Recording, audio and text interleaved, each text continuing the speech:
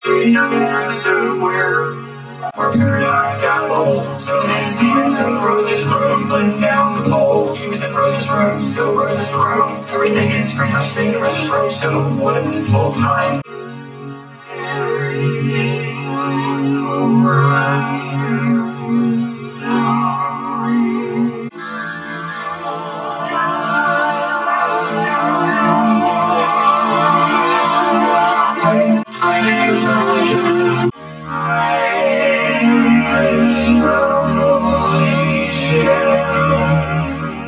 I'm sorry.